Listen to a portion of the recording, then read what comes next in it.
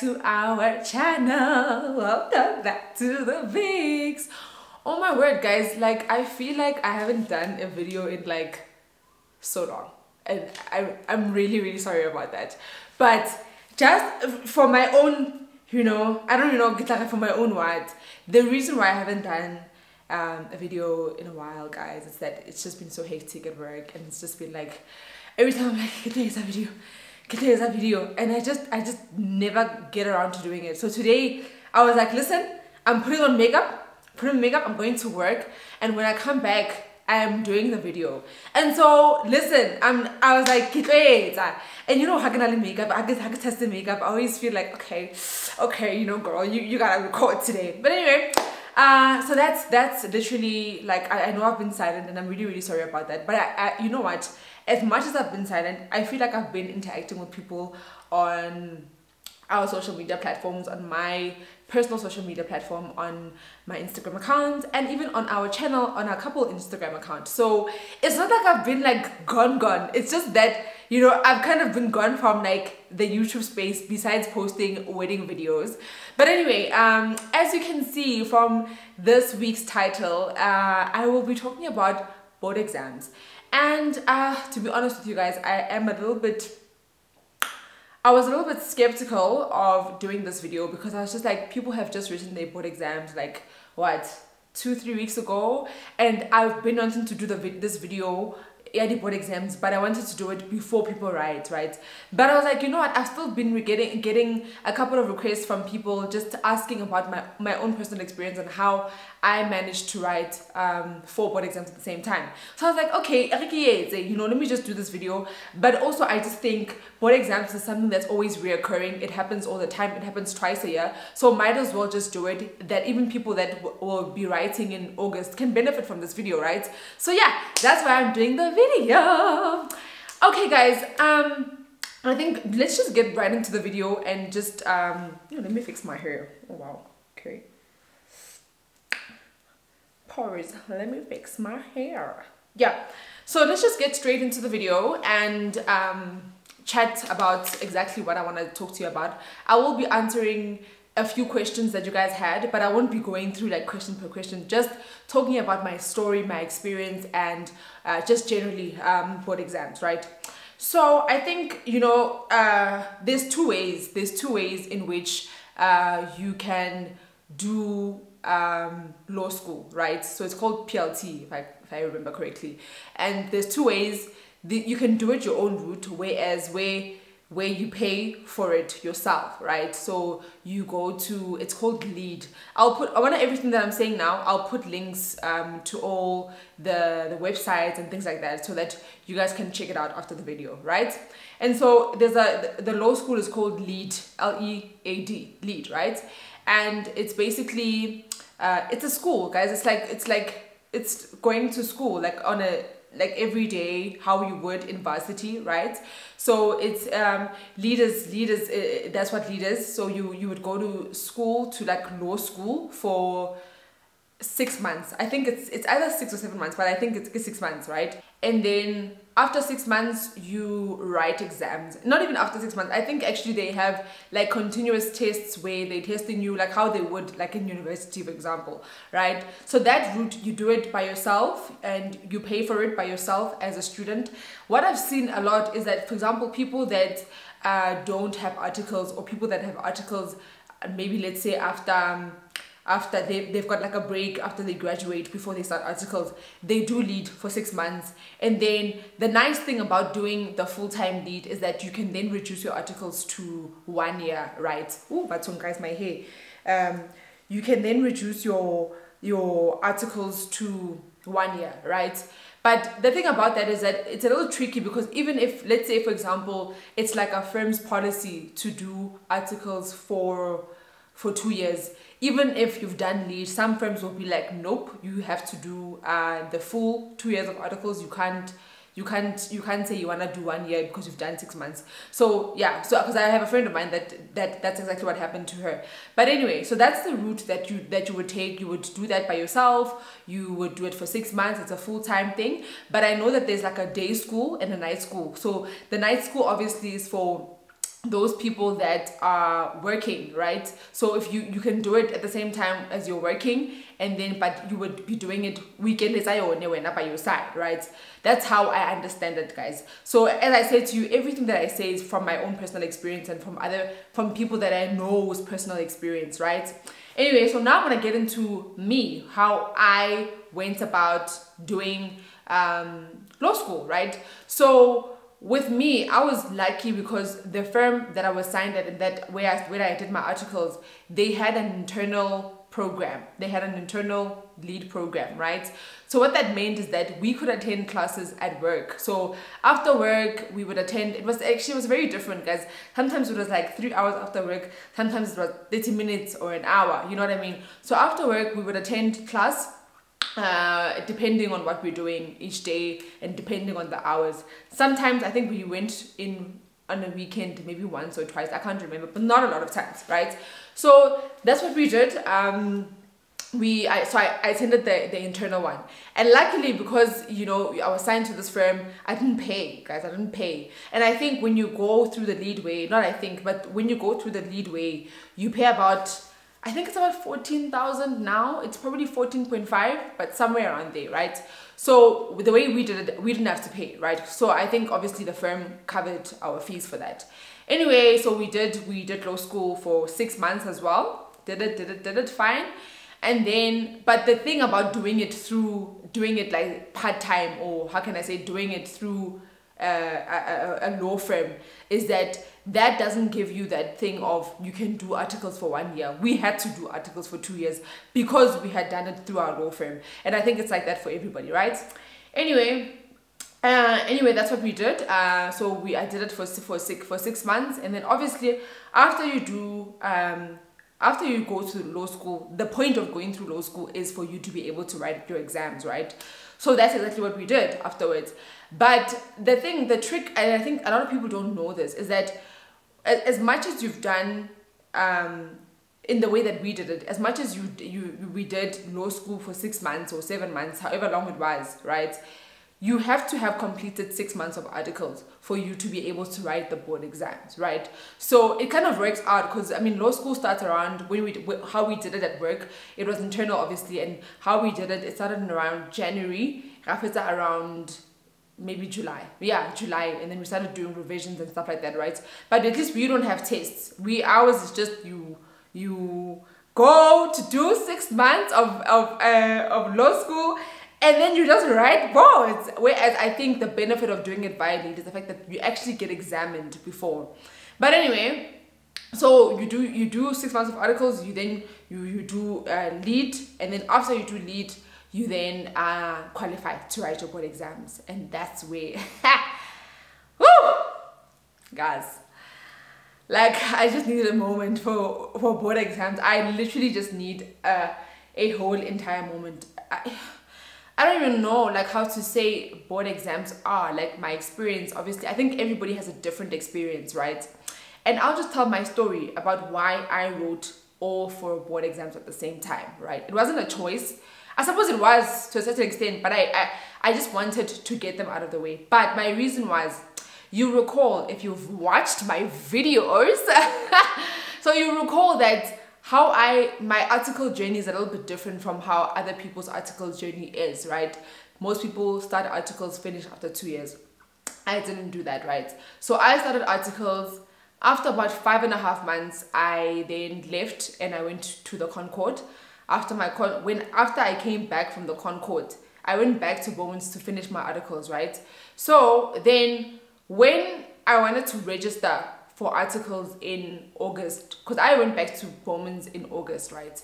And so when I went back, I wanted to write uh, I wanted to write boards in August, and then that that trick of you haven't done a continuous six months of articles came in. So I couldn't write in August. I couldn't uh, the, the Law Society said, no, you haven't done a continuous six months. Literally all I was left to do was uh, two weeks. all I needed was two weeks for me to, to, to be able to write um, board exams. But because I was, I left after five and a half months, I couldn't, right? But anyway, that's, that's a story for another day. Then I was like, okay, fine, I can't write them in the August period. Then I continued articles. Then the following year, which was, I think it was 20, was it 2019? I think it was 2019, yeah. The following year uh, was my second year as a, as a CA, and so I had an opportunity to write boards in Feb, but also in August, right? But then the trick about that was that I didn't want to write in in August because I wanted by the time that we had discussions about um, we had discussions about retention at work that I knew kind of my fate regarding board exams. That's kind of where I wanted to be. So I was like, HTD, want like I'll fail. You know what I mean? So I was like, okay. I mean, it wasn't forced upon me. I decided to make the decision to write all four. And whew, yeah, no, it was it was tough, guys. It was really, really tough. You know, I mean, we I've previously heard people say, ah, board exams, ah, board exams are easy. You don't even have to study. You can just go through past papers. There is absolutely nothing like that. Those things are hard. Like ditata. I even have to say it in Setswana because it was it was tough, you know. Uh, and I think the only thing that helped me to go through that was the fact that I had literally started studying in December. I started studying in December of 2018. And I mean, obviously it was quiet at work. So I was like, hey, let me just read through these, this work. Let me just go through it. You know, what's happening. Just reading. I want to just get myself into these things. And I really wanted to pass. I think that was the thing that pushed me. I didn't want to repeat. I didn't want to fail, you know. And so that's, I went into it kind of in that, in that light, right? And so that's what happened. And then i started in december studying studying studying but not studying in the way i was just reading right? Jan i was like okay sharp no boards. You know we have a date we're writing on the 6th of march 6th and 7th of march. I was like i'm gonna i'm gonna now push. And i was studying studying like weekends i was busy studying for board exams. And then then two weeks before board exams my grand passes away. Yo go ahead. I was just like i remember the first thing i said to my mom I was like but home like like seriously you know and i think at that moment i was like mm, i don't think i'm gonna write four that was me I, when when my grandpa passed away i was like i was too stressed i was too under pressure i was just like I can't. I don't think I'll be able to write all four. But I continued studying for all four. I was like, hey, let's just see. Let's just see. Literally, the week before board exams, I buried my gran and buried her. I was devastated but I continued to study. I studied, I literally went home to Rustenburg day before the funeral, came back on the day of the funeral, studied, you know, that was just me the whole time. And I just remember the week leading up to boards that I just, I was like, I, I, felt that week, I feel like I lost like at least five kgs in that week because I was stressed and I just, I felt like there was no way that I was going to be able to write all four, all four. It was just like, it was a lot guys it was a lot. But anyway i was like okay get and i'll just see how it goes right? And so then i studied i studied i studied. And then so there's four papers. Let me, let me let, let, maybe let's push back a little bit so that i can explain to you uh, when i say all four what i mean. There's four papers. So i studied for all four papers. But you know what's funny is that it's not like one paper is not like one module in university where you're like, okay, it's introduction to law. No, guys. It's like, for example, the first paper in in boards is courts, right? Courts, it's called courts. That's that's what I court court procedure. I think that's what it's called. Yeah. And court procedure has like know, like it was just ridiculous actually. It had high court, match court, labor court, what else did it have guys it was just a lot like i remember the courts paper was hectic. And i also think it had um uh rfi uh, what is it called? Ra raf yeah raf ref ref i'm so used to using acronyms that i'm just like i know what is it called again? So the road accident fund right? It has stuff like that as well. So literally if you look at the lead manual they give you lead manuals obviously when you when you are studying right? The manual is like at least in ingaga for all those things so it's like pages and pages and pages of documents, right? And then the second paper was wills and estates. But to be completely honest with you, with wills, I thought and I, I still think it was one of the more better papers, especially if you did like succession in varsity, right? So I think it wasn't like a new thing. Even I mean, even courts. I think courts is, is not hard. It's just the quantity of work that you needed to get through, right? Sharp. Then the third paper was ethics ethics ethics is like ethics is like anything and everything. They can ask you anything. That's that's not for now. I call ethics the paper of anything. I mean, obviously you get manuals and they're like, okay, in ethics you're gonna do. What, what do we do in ethics actually? Now that I now that I I've got like I've got like my own booklet. So let me check. What did I write in ethics?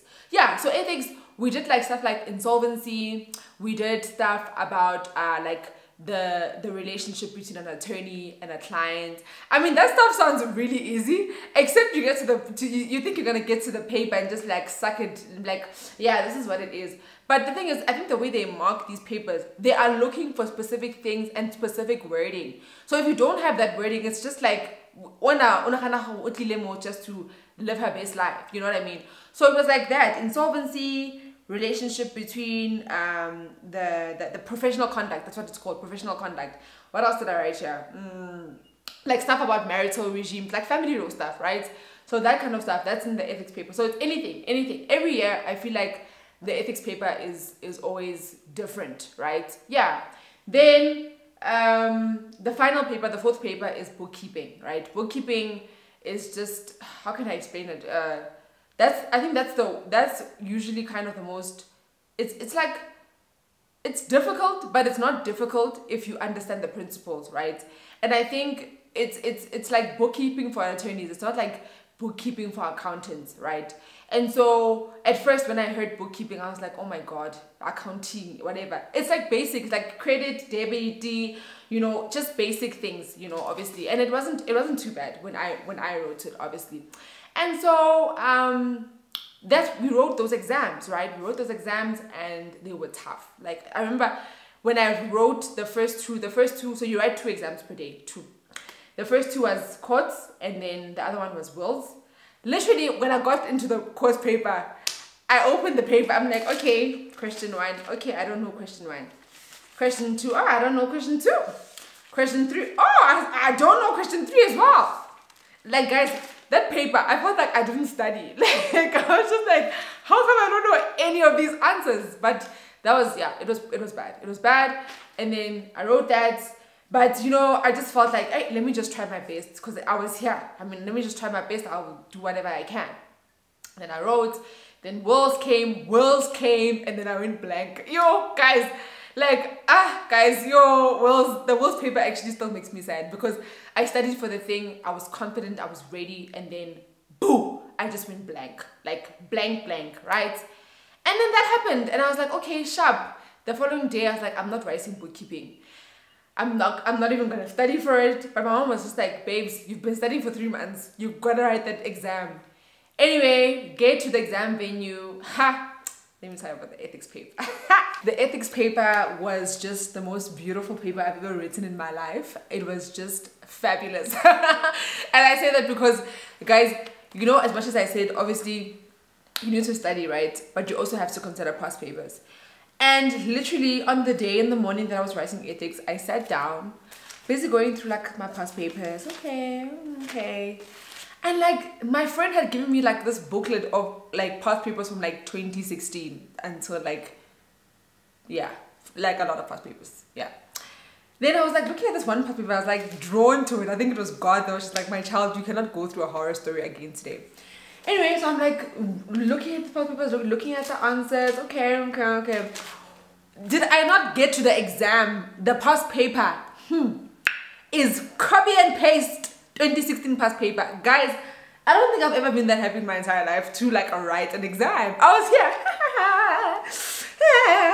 but anyway, that was like the easiest paper of my life to be completely honest. Then after ethics, you write bookkeeping. Bookkeeping was good. I think yes, in I actually think in that period the hardest papers were courts and and wills, and then they were just like, guys, we can't make all the papers hard. Let's just make two easy ones. And then that was that. So that's what I did. That's how I wrote my board exams and um, I was very nervous by the results, guys. I won't lie. I was just like, I was actually convinced that I had failed wills. I was convinced. I was like, there's no way that I could have passed because I went blank. Anyway, two months later comes by. As you can see, the smile on my face. Um, two months later, I'm literally like shaking as I'm looking at the result. I'm here. Uh, and then so you so obviously they write your student number or whatever your exam number and then they write the mark one, two, three, showing the paper numbers. Paper one, I think I had gotten like, what did I get for courts? I think I got like 73 or something. I was shook. I was like, what? I thought I was gonna get a 50 for courts. Then Wills, Wills, I made it just in the door. I got like 51 or 52, you know. I think the, the person that was marking my paper was just like, hey, let's just help this poor child, you know. So I literally just went in the door, but I didn't care. At the point, I was just like, I'm happy, I've passed. And then I got ethics, I got, ethics I was a little bit disappointed because I thought I was gonna get there and get like 90. I think I got like 70 or 69, something like that. I can't remember. Then bookkeeping I did really well. I got like 83 and then that was that. So I really think the trick to this was the fact that I started studying very early, number one. And the fact that I really, I used both past papers, both notes, because there's, there's, there's a lot of notes that float around during board exam time. So I used past papers, I did use uh, notes and I also used those, those manuals where things were not as clear in the past papers or in the notes, I used manuals, right? And that's how I managed to pass all my four board exams at the same time. And I really just think that had it just not been that that that drive to say, okay, just go and write, I probably wouldn't have written one of them because I was so discouraged by the first day that I was like, I there's no way I'm gonna make it through these board exams because they were so tough. Like I was literally physically sick, you know, and my body was just like it wasn't we were not connecting my body and i. But i'm just grateful that i, I managed to write all of them. And i really think that you know uh, just the, the the, the, the continuous and the long-term studying really assisted me. But i really think that also attending revision lectures was actually one of the elements that really assisted me as well. Because obviously you write boards i had written boards and i, I had i had gone through lead in 2017 the beginning of 2017 I wrote boards in 2019. You know what I mean? So it was like a good year and a half since I had actually attended lectures. So attending those revision lectures, I mean, there's, I know Guti, the ones that I know about are the ones that are held by Van Eyck. Van Eyck holds the wills, wills, so paper two, and the bookkeeping. And those things were just, like, they were literally amazing. He's a little bit, um, he's an interesting man. That's what I can say. That's all I can say. But he really knows what he's doing. He, he really knows his his stuff. And so attending those things, literally, I really think they they they did things for me. I really really do. So uh, I would definitely recommend it. I mean, it's a little bit pricey, but again, because I was at Bowman's, I got that they paid for us. Uh, I think it was about. I know that the it, it's like a week long course, and I think you do like bookkeeping for three days and then you do you do uh worlds for two days. I can't remember something like that. And i think the entire i think the, the fee is different. The fee there's a there's a fee for bookkeeping and there's a fee for worlds. And i think it was about at the time maybe it was 850 each or like something along those lines right? But if you don't if you're not a part of a firm that's willing to pay for you or that doesn't pay for you i really would recommend you paying for it and just just sacrificing that thousand one point five just so that you can actually uh, really do well for your board exams. Because one thing about like rules and, and and bookkeeping is that if you don't understand the principles there's no way that you will pass those exams. Like literally i my my strongest point is not accounting bookkeeping stuff but i managed to get a distinction in that because once you and he teaches you that once you understand the principles you're like literally you're halfway there. Like not even halfway you're like 70% in you know what i mean? But if you lack the principles even if you study for like five years for board exams you won't be able to because the principles are literally underlying everything right?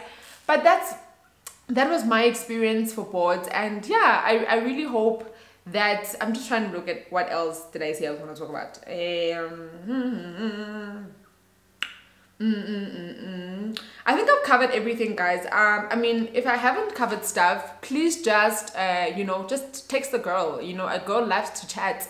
A girl loves to video call her people. I love video calling people on Instagram. It's like my favorite thing to do. I'm always like, if you ask me a question, I'm always like, can I please video call you? Uh, maybe I like seeing myself, guys. Who knows? But anyway, I really love responding to your queries, guys. I really, really do. I really enjoy it. And I really am so grateful for people that actually reach out to me. Don't think, you know, some people always say to me, I know you get you get thousands of DMs, but I would really appreciate it if you responded. And even if you don't respond, that's also okay. I'm just like, no, girl, I'm gonna respond, you know. And I always, I try. Let me just say, I try. I really try to respond to everybody's DMs and to really not just respond for the sake of responding, but to respond and add value and hopefully that's exactly what I do in my videos. I really hope you really enjoyed this video. And I really love it when people come up with suggestions like Tidiko could you please do this thing. And I'm like okay babes. So guys I've noted them down. Don't think that I'm just saying yes I'll do it for the sake of doing it. Actually I do, I do note it down that, okay, I still have to do a video about this and this and this and this. So yes, guys, uh, but anyway, uh, thank you so much again for watching. Thank you so much for supporting us as the Viks. We really, really appreciate all your support. And I really just love all of you, fam. I love it. Thank you so much, Viksies. Uh, until next video, we never know when that is going to be. But until next video, please comment, subscribe, like, do all those things. And also remember to engage on social media. I love it. I love your engagements and I really, really appreciate them. Bye-bye, Viksies.